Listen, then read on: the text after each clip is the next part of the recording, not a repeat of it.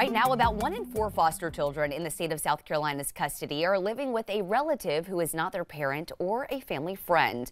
This is called kinship care, but these families don't necessarily get the same help as foster families. State House reporter Mary Green explains how new bipartisan legislation could change that. Our child came to us temporarily originally, and we anticipated it being that way, temporary.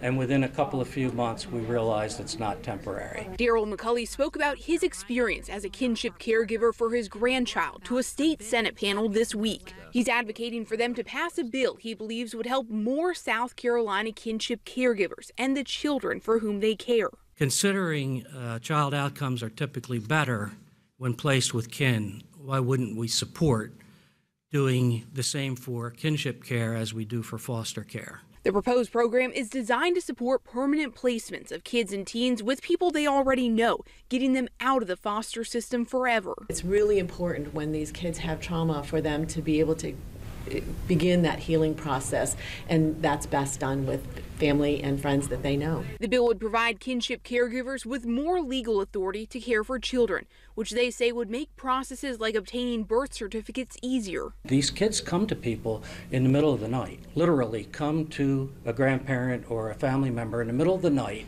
with, you know, whatever's on their back and they have no help to make these things happen. The legislation would also establish a KinGAP program allowing kinship caregivers to receive financial assistance similar to what foster families get from the government. A legislative estimate says the federal government can give South Carolina about half a million dollars next year for this, while the state would also have to put in about $1.2 million of its own money. South Carolina is one of just 10 states that hasn't tapped into this federal funding, though it's been around for about a decade. McCulley says this bill would especially help grandparents and older relatives living on fixed incomes. They don't want to let the child go into foster care because it's a child, you know, it's a family member and so on, and they want to take care of the child.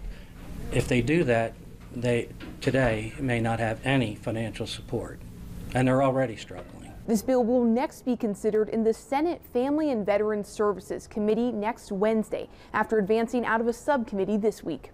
Reporting from the State House, I'm Mary Green. State leaders have been working in recent years to expand and support foster care and kinship care in South Carolina. Last year, the legislature widened kinship care to also include people who are not related to the child, but with whom they share a significant relationship, like a family friend or a neighbor.